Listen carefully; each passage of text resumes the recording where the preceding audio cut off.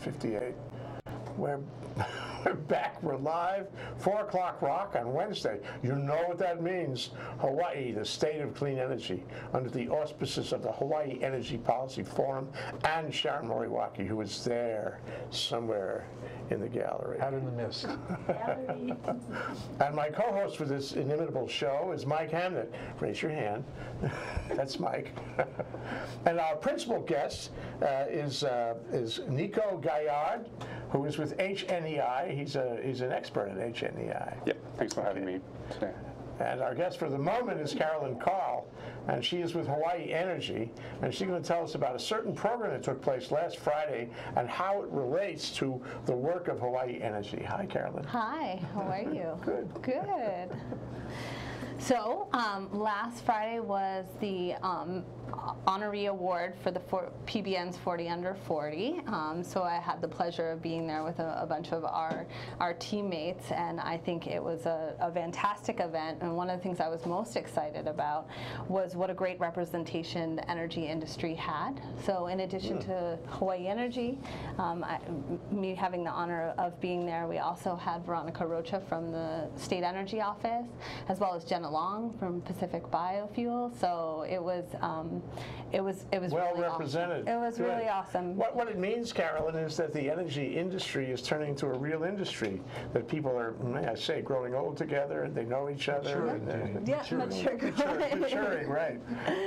yeah, no, I, I think what what we're seeing and what I'm so proud to be a part of such an amazing collaboration network of, of folks is that there are projects that are reaching far beyond just the energy sector. You know, we're involved in um, new technologies being installed in a variety of areas, um, in hospitality, in government. So it's just penetrating, and, and the clean energy future is really, um, really bright. Yeah, and you got to have people to do that and to manage it. And that means there are careers in energy, right? That's the celebration. here. Absolutely, absolutely, and they and in so many different areas of energy, whether you're a service provider, whether you work for programs, administration, policy, um, you know, there there's opportunity in, in technology education, yeah. so research. So I mean, it's it's super exciting, especially here in Hawaii. You know, the clean tech. Yeah. Awesome. So, I mean, it's interesting that uh, Hawaii Energy uh, always does high leverage things. You do something you know is going to have a big effect, cast a long shadow. And this does too. Getting together on a 40 by 40 program with PBN means that you are encouraging people to get into the industry and thus build the industry. That's what you're doing. Absolutely, and I think that's you know what I look to my mentors and the folks who brought me in as the role models, but at the same time, you know, try to provide that sort of excitement to those, those coming uh, recent graduate, those still in school, you know, trying to just talk about the the plethora of things that you can get involved in, no matter what your affinity is. Is it more technical? Is it more social? You know, government, all that stuff. So Great initiative, great partnership. absolutely. Now, there's a rumor What's that? That you have a film you want to play. Oh, well, I think, well, we always come with films. Okay, so yeah. it sounds like a good rumor to me. I think so, yeah. Hardly a rumor, all facts. So, yeah, no, we have a, a clip from the event on, um, on Friday, just highlighting some of the honorees and, and all the great work they do. Okay, let's play that and see what.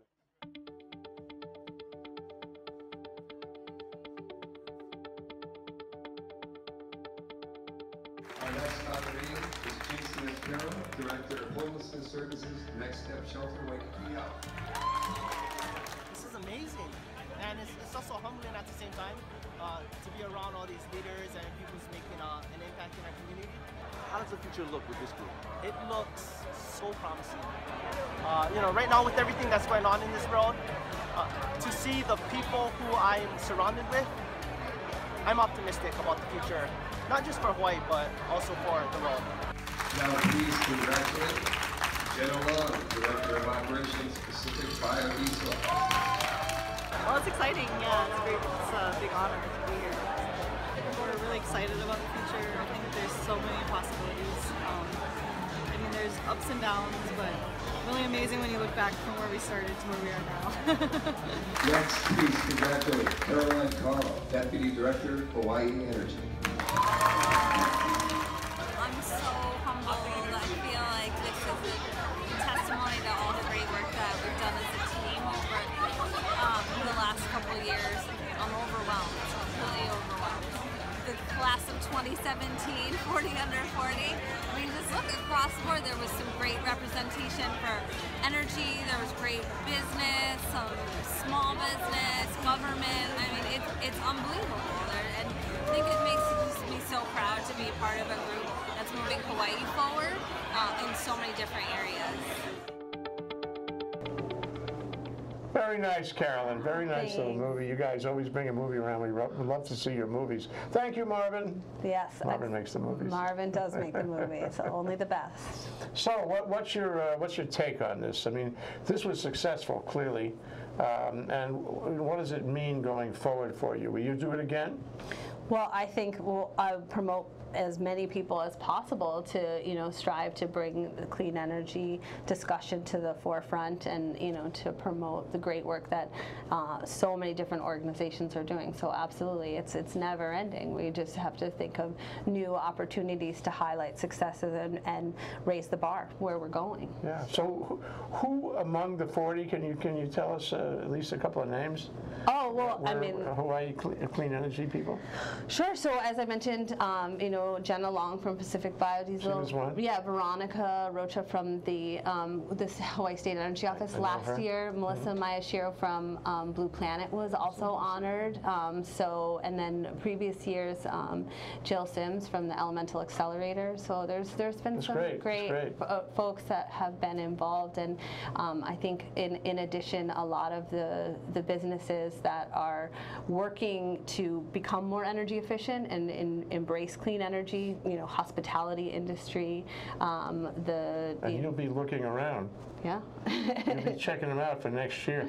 So that means, uh, what do you, what do you say? Can uh, Mike Hamnett and me, can we apply uh, on the 40 by 40 program? You know, 40 under 40, perhaps not, but you can definitely nominate someone. So I would highly recommend taking a look at, at, you know, and, and getting the word out about some great work that um, folks are doing on their own or with their organization. So she thinks we're older than 40, is Uh, it? no. I don't know how she came to that conclusion, but I'd say it was a very diplomatic and politically correct answer. I carted you at the door. So. Thank you, Carolyn. Thank you so much. Carl and Carl, Hawaii Energy, thank you so much. We're going to take a break now. We'll be right back. A veteran, my victory was finding the strength to be a champion. My victory is having a job I can be proud of. At DAV, we help veterans get the benefits they've earned. My victory was finishing my education. My victory was getting help to put our lives back together. DAV provides veterans with a lifetime of support. My victory is being there for my family. Help us support more victories for veterans. Go to DAV.org. I'm going to the game and it's gonna be great. Early arriving for a little tailgate. I usually drink but won't be drinking today cause I'm the designated driver and that's okay. It's nice to be the guy that keeps his friends in line, keeps them from drinking too much so we can have a great time. A little responsibility can go a long way cause it's all about having fun on game day. I'm the guy you wanna be. I'm the guy saving money. I'm the guy with the H2O and I'm the guy that says, let's go.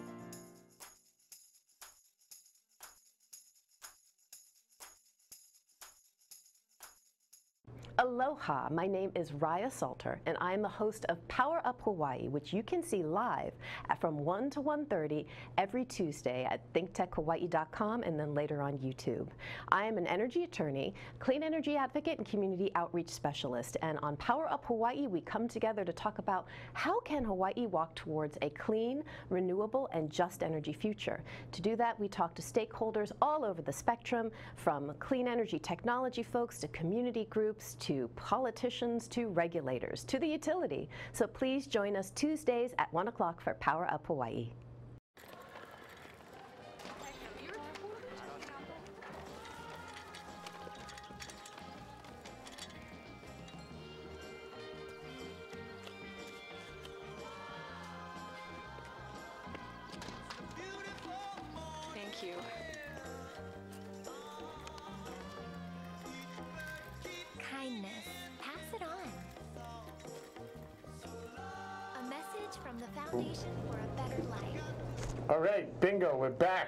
Now, you may think this is Carolyn, Carolyn Carl, but it is not. It is Sharon Moriwaki, and she is another co-host. We can never have too many co-hosts here. We're too many co-chairs I wanted we to out- be here with Nico. We outnumber and Mike. Nico today. You're in trouble, Nico. All right. So let's get down to the bedrock here. What do you do at HNEI? So I do research on material science. So I have a research group of- who's focusing on thin films material. So we're looking at the next generation of photovoltaic material, which eventually, in you know, 15, 20 years from now, could replace the silicon technology that we have here in Hawaii that we see on the rooftop. And is it going to be cheaper to The goal is to get it cheaper, yes. Cheaper with the same sort of efficiency if you look at the, um, the thin film technology. But what we could do with that technology is also enhance the efficiency of the existing silicon, like by st- stacking on top of it each other. thinner? It's gonna be It's extremely thinner. It's so thin, it's actually flexible. Uh, it's uh, a hundredth of a hair. It's extremely thin. Um, that's a, a great property of these materials And you can stack them. and we can stack them. So not only we can uh, stack them on top of each other, but we can change their color, so they act as optical filters. So we can have material that can absorb like UV light on top of material can absorb um, visible light on top of material that can absorb infrared. And so by doing so, you improve the photon collection and you enhance the overall efficiency of the device. So what, what does the stacking do? What, what is that versus non-stacking? So the the, the the standard technology, which is silicon, is a, is a plain, thick wafer. Because silicon is not a very good solar absorber, you need about a millimeter or half a millimeter of material Right. to absorb light. Um, and also, you cannot change the color of silicon, so you cannot stack layer silicons on top of each other.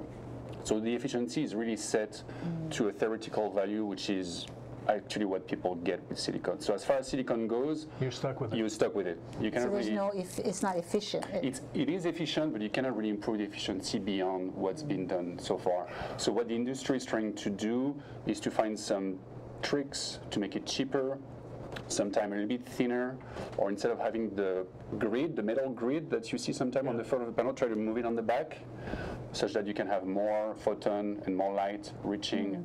The, the cell. But as far as the metal is concerned, we've reached the limit of silicon. And so what we're looking at in my lab are alloys that contain different chemical elements, two, three, four chemical elements, and by changing their relative concentration, Right. um, or you know, their sometimes their thickness, or or some some aspect of the composition, we can change the color essentially, and so we can have for same given material, we can change the color through all these colors that I mentioned before, and we can really stack them on top of each other. That, that's really the key if you want to break the barrier of, of So you put it on windows, is that the idea? so the goal, the way we deposit these materials is usually on the on a piece of glass, but you could coat that on on a, a piece of metal. Um, you know, for, for integrated PV, you could have that on a window. Uh, you can pretty much coat that on any single substrate that, that you So is the color eff- efficient, more efficient, or is the color just decorative? I mean, what, what is It's a very good question. So based on the color, you can have more current or more voltage. It's always a trade-off between the two. Hmm. Uh, a, a solar cell gives you current and voltage. And so by changing the color, you can have a, a color that gives you a lot of current but a very little hmm. voltage. And you have other color that gives you a lot of voltage but a little current. Hmm. And so by stacking these layers on top of each other, you can really take the best advantage of both and, and limit the loss. And Which what's in maximize the and output. maximum, yeah. What's the basic science involved here? It's uh, semiconductor physics, so that's the same physics that you have in you know all the chips that you have in your computers or your smartphone or you know the memories that you have in a USB stick. So it's all about semiconductor science, how you can make sure that the material can absorb light, can conduct electricity, uh, doesn't have too much defects. Um, Minimize the heat. minimize heat. Um, if you want to stack the layers on top of each other, you're going to make sure that the processes are compatible with each other. Because if you destroy the cell that's underneath as you grow the device, you kind of lose uh, the whole the, the efficiency. So the whole idea is really to find new technologies, find new materials, uh, and again, really to replace the, the technologies in the next 15 to 20 years. Mm. What's about degradation? Does it degrade over time? It really depends on the technology. Silicon is very stable. Uh, you know, you can have you can see modules that are been out for the past 20 years. Some more advanced technologies are extremely efficient but degrade extremely quickly. They're actually uh, moisture sensitive. Um, the technology I'm looking at are very fairly stable. Uh, you can actually buy today modules that are made made with these type of materials. Uh, but what we try to do is to switch from the way they're made, which use a lot of electricity, a lot of what we call vacuum technologies. And what we try to do in my lab is to replace these vacuum technologies with printing techniques. so the idea is to Mm. print the Mass solar cell. Exactly, yeah. exactly. Commercializing. What about maintenance? Do you have to clean it a special way in order to keep it vital? As far as my technology, technology is concerned, it really depends how you integrate the cell. Um, most of these cells have a, a sheet of glass sitting on top, so as all other PV technologies, they may have to be cleaned every now and again, depending on where you live. If you live by the desert, for example, or the ocean, yes. What about the state of the art nationwide, worldwide? I mean, are you unique in some way, or are you working in a collaborative fashion with other other institutions of like kind? So I would say both. Um, what we're unique is we're trying to integrate these new ink-based techniques, really with new earth-abundant material to really drive the cost down. But we also have a lot of collaboration with partners on the mainland, um, which give us access to very unique uh, characterization technique like the synchrotron at Berkeley, or we have access also to other supercomputer at Lawrence Livermore National Lab to really develop these new materials, try to see how these material chemistry evolve, you know, how the atoms travel at the interface when we heat them up. So there is, there is, you know, the, the actual technical side, which is making the material, which is what we do in my group, but there is a lot of fundamental research that goes into that, that is done through uh, active Any collaboration. patents yet? Not yet, not yet. Who who will own the patent? Will you, Nico, or If- maybe you I give think it it would to be Sharon UH. or Mike? UH. I think it would be. I think it would be UH. UH, yeah. Yes. Intellectual property, Yes. yeah. But the those- you have researchers have some a kind piece of that, don't Yeah, they? you have a I think percentage. so. Yeah, Yeah, I think under the so. contract. Yes, Right. yes. Some royalties. There's a lot of industry interest, I'm sure, in what you're doing. There are, yes, yes. Um, there is company who've been looking at these inks in the past, but most of the, the approaches that they use use very toxic inks and toxic chemicals. So really our approach is to focus on, on, on toxic, on, on material that have little toxic, low toxicity and, and inks that are, can be processed very easily. So, so what are you testing for? Is it like cost, efficiency? Yes. Uh, you know, what are the variables that are, you know, Yes. like that that then say, okay, now we're ready. We're ready to commercialize this. You know, So how- the, the main key metric would be the watt per, I mean dollar per watt. That's really what So all the you industry are looking at costs and We're looking at cost, and our approach is really to pick the chemicals that are earth abundant, that we can find very easily in the earth crust. So material science kind of thing? Yes, yes. So try- what, is that what's holding you back? Well, you can look at some technologies which are highly efficient, but some of the constituents could be highly expensive. Like you talk about, you know, Rare 700. elements. Either either rare earth, but also some others. Like there is a technology called CIGS: copper, indium, gallium, and selenium. Copper is Oh, about That's going to be on the final exam. copper is about five dollar per kilogram, and indium and gallium are about five hundred dollars per kilogram. So if we could replace these two with cheaper elements, it would be a big game changer. So that's what we try to do. Yes. So let's, So let's assume that you figure out the trade-off. material science on this. Let's assume that you're ready now and you have a way to manufacture it. Would you manufacture it here or in China?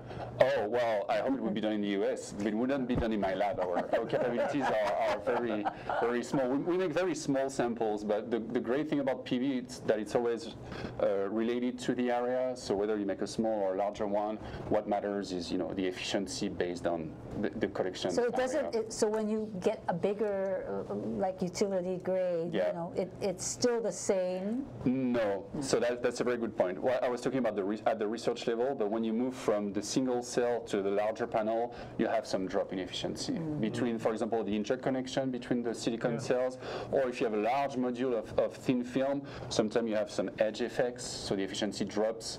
Or the technique that are used with these vacuum techniques are non-uniform, so you can have higher efficiency on one side of the panel and you know lower efficiency on the other side, which is what we're trying to fight against with that print technology because we, we have essentially the same composition all over the substrate. So that's With really that technology, how do you do connectivity? How did you connect, how do you connect it up to the converter and all Yeah, that? so the actual cell, we start with a, a- um, a metal back contact, then we grow the solar cell, and then on top we have another set of transparent top contact, so that really creates the device. And so if you had a module, you would essentially have a very big uh, piece of glass with a very you know long piece of, of, of metal. So can you use these new ones, the ones you're developing, alongside old ones? Absolutely, yes. Yes, it's essentially the same architecture. Ah. Yes. So it's disruptive nevertheless, though. It is. If you get this into the market, you're going to be a famous man. I hope you'll still talk to us. I will. Please invite me back. The, the, the goal is to get the costs down so that things like rooftop solar would be much cheaper than they are now. That's one example, yes. But we're working on mostly at the utility scale where, you know, for example, I saw there is that plant in, in California where they had 9 million modules. Uh, I mean, can you imagine if you increase the efficiency by only a percent or two percent? I mean, the balance of system It's would shrink significantly. Yeah. So it's not necessarily you talk about disruptive. It's really important, but you know, sometimes just like a, an increase of uh, eight percent or two percent, or reducing the very large cost on a very large scale, things take very large proportions. So Yeah. yeah, there is disruptive and also incremental. It, it's really both. It's pretty exciting. How long have you been working on this? I've been with the University of Hawaii for 10 years. It's going to be 10 years this summer. Uh, but specifically on that project, I would say five years. Yes. What's your credentials? I'm a material scientist. Um, I grew up in France. I did my PhD in the field of microelectronic, so for all these computer chips. And then when I came here as a postdoctoral fellow, I started working on artificial photosynthesis uh, to make what we call solar fuels. So it's an integrated device that make hydrogen, out of water. Uh, so- and then I moved to. to Are you still in that at all? I am. I am. Yes, I am. Actually, we have a very good uh, partnership with universities across the nation, and we have also some funding from the Department of Energy to work on that. Um, so yes, that still goes very well. Yeah, it's very exciting. There's, And there are quite a few other things going on in HNEI and this whole t- sort of technology Yes. development area. Yes. What other things are are they doing that integrate with what you're doing? Um, so there is some, as far as hydrogen, there is some coworkers, Godwin Severa, that you will meet at the end of the month, who works on hydrogen storage. Uh, so there is some synergetic, activity as far as the material design. Um, I, really, I'm, I work at the material level, so you know that doesn't really get old. You can always work on, on a lot of different applications. So hydrogen storage, Mathieu Dubarry that you met work on, on batteries, and also there is some activities across the two labs uh, to potentially develop new materials. Uh, so what we try to do is really to give a support to HNEI to help Uh, develop the next generation of materials for those who work at the device level. Because as you'll see, there is people working at the grid level, at the system level, and at the device levels. So how, like, if when you're doing your testing, when, when do you get to a point to say, okay, this is ready for commercialization? How, where do we link up with who? And are you working with these private partners on the front end, or is it, you know, when do you bring them in, or? uh, It's a very good question. So we do, we had uh, collaboration with private partners in the past, and also through all some of our collaboration that we have with our coworkers on mainland, we also interact with these folks. Uh, but it's not a direct tech- technology transfer, as you may think. If we have, you know, that eureka moment and we find a very exci- exciting technology, we would have to go through the, um, the, the patenting process through UH and maybe try to promote the technology to, to other companies. Yeah, so, because if you're discovering something and then you give it to a private company, what's to prevent them from running with that? Yeah. Well, I would I would make sure that we have the, the patent first and all the publications done before before it's So, out. Yes, so You're it's working in collaboration with a lot of other scientists and other institutions hither and yon. What's the special sauce you're bringing to it? What's what's the, the patent area you're looking at? so it's mostly again how we can create new materials. Um, you know, drawing from our expertise, from the work we did on solar fuels, the past work that we did on photovoltaics. How can we how, how can we really uh, establish new materials uh, that could really compete with with the existing technologies. And our work is mostly at the material level, using the input from our coworkers or you know the theorists or, or the person who, who can do the, the advanced characterization for us, how we can really uh, advance the technology of these materials and, and really push push the technology. Sounds like Edison looking for tungsten. Edison. Yeah. Maybe Yeah. tungsten is the secret answer. That's right. You heard it here on Think But, Tech. but, but, but that, that is a question I had. Is you've been in the field now for 10 years. Have you seen from where you, you started to today what kind of advances and, you know, has there been transformative or is this like evolving or, you know? There is there is ups and downs and, and peaks, and sometimes you see in given materials, you know, great advances, and then as it turns out, it's not as as simple as we thought, and there is some durability issues, for example. So it's really trying to move our, our pieces on the chess mass, you know, one at a time, um, try to advance one part of the technology to address an issue.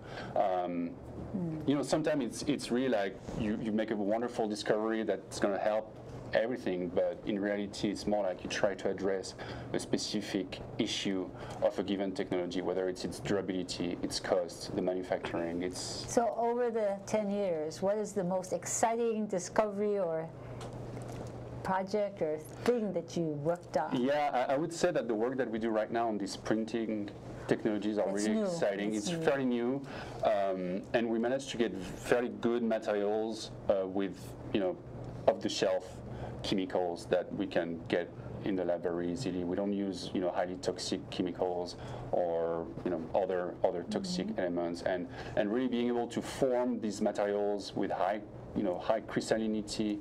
Very little defect is really a big challenge, and and I think we've succeeded in that way. And spraying it on glass, is that Yes. the way it works? Yes, Yeah. yes. So pretty much like an inkjet inkjet printer. Yeah. Yeah. Oh, 3D printer. This is a 3D printer? So it wouldn't be 3D uh, because you really want the material to be need as dense as possible. So you want to grow 3D, but in, t- in a 2D fashion. So it would be more like a layer by layer approach instead of having like an architecture. Mm-hmm. So you mentioned it's not toxic. On the other hand, you are generating electricity from the combination of elements on this, in this, in this pattern. So if you touch it, don't you get a shock? Well, the fact that it's not toxic, so the, the actual the chemicals themselves don't move during the photovoltaic process. It's really an electronic process that happens in the cell. So as far as the device is concerned, nothing really evolves and move. Uh, out of the cell, yeah, if you have a big panel, you'd rather not touch the panel if it's, if it's not connected. But yeah, that's where our friend working on the grid and, and on the storage come in place. Yeah. So, uh, Nico, uh, uh, how big is your laboratory? Uh, how many people are there to help you? Uh, Yep. what, how's it structured in this scientific crucible? So it's uh, it varies. Right now, I have two coworkers: uh, Kimberly, who's a postdoc uh, fellow, and Alex, who's a junior researcher. So we're three. Um, Sometimes we have a student helper that come over the summer to help us with these processes. Uh, it varies. It really varies. Right now, we're three, and most of our daily work is really making these materials day in day out. So it's Mm. really you know processing, laying these la- layers on top of each other, testing the materials, sending materials around to our collaborators so they can assess different properties of the material. So it's it's um, it's really it's it's technical. So when you Uh, test it, do, the, how do you connect it up so that you can see that, you know, this is, this has a, so much, I don't know. Yeah. How, you know, how, So how we have we actually have a solar simulator in the lab. So it's a Ah. big 1,000 watt xenon bulb. So we don't have to go outside to test ourselves. Oh, so the light Because we live in Manoa, so you know it's always. uh-huh. Uh-huh. um, and so the cells themselves, they're about one inch by one inch, and we have access to the top and the back electrical contacts, and we use probes. And these probes are uh, connected to a meter, bulb or some- or a meter. That, that tells us the current and the voltage. And knowing the current and So you voltage, know you're we know the efficiency. Yeah. Oh. So we well, can this is probably going to change things.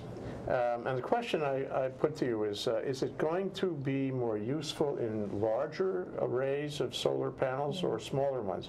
Is it going to be the kind of thing that the homeowner would want to buy and plan for? Or is it going to be like community solar, if we ever have that? Uh, or, or, you know, Yeah. utility scale solar? Yeah. So, so these the thin film techno- technology can be used at different scales. So whether it's at the utility scale or the homeowner scale, that would be the same type of panel. You know, like this two meter by one meter frame. But because they are thin film, they can also be processed for wearables, wearables technologies, you know, like on backpacks that you see sometimes, these flexible modules, or, you know, on shirts maybe, or on tents. Uh, so they can be reapplied to a lot of different uh, technologies, yes. Oh my goodness, I Mm. could power my cell phone with You with could. my shirt. You could. How about that? Well, what's your, what's your plan on this? 10 years? Uh, What's, what- what's, you- are you- are you the principal investigator? I am. Wonderful, and we have him here at the table. Yeah, how Yeah, exciting, fabulous. isn't that exciting? So where's it going to go from here? So um, we have two current activities. The one on, on photovoltaics, which is that printed technology. We're going to look for other either new materials, but also try to use, uh, try to apply this technology to current materials that are used that are made with these vacuum techniques, which are quite expensive. And the other approach, which is the solar fuel, uh, the idea is to to create a device that can be just immersed in water that can just split water into hydrogen and ox- oxygen using Oh, sunlight. So there is a lot of work on, on catalysis, on corrosion protection, on you know materials development, you know all these colors. Small scale stuff, is it? It really depends. The, the, the fact is that you always have a thousand watt of solar energy per meter square. So if you want a lot of power, you make a, you have to make it big. So you know more efficient doesn't mean you want to shrink the size. You, you want to keep the size and have more power out of a given unit of area. Yeah. So, uh, Mike, we're about out of time now, and uh, it You it to befalls you as uh, our summarize. co-host Well, to you to summarize. Oh, wait, before, can I just do one talk minute about of We're- We only have a a few- couple Well, minutes then Mike. Mike can summarize. Go ahead, go ahead. You understand? But it sounds like we're making advances at the Hawaii Natural Energy Institute on Sounds really photovoltaic technology, and it's got a great future. Thank you. Yeah. Yeah. You have to So- come back and tell us when you Yeah. that discovery. Yes, I will. and can I talk about one minute? Transformational award? Sure. Okay, we are at Hawaii Energy Policy Forum looking at this year's awardees or nominations, and July 1 is the deadline. So uh, please submit your nominations to hawaiienergypolicy.hawaii.edu. July 1 is the deadline, and they're in various areas uh, policy, technologies, like Nico was talking about, as well as um, energy efficiency, communication, and outreach. So please hit that button there that says submit nomination and come to uh, our website. July 1 is the deadline. So And Clean come to- Energy Day and Clean Energy Day is August 28th. Now you'll hear who the awardees are, and the governor will present the awards to you. I knew you'd say that. Okay, we're about done. Nico, I wonder if you could say farewell to our audience, and if you don't mind, could you please do it in French? Pas de problème. Merci pour votre attention. À bientôt. Wow. Bientôt. Merci. Mm. Merci. Au revoir. Au revoir. Au revoir. À bientôt. À tout à l'heure. Au revoir.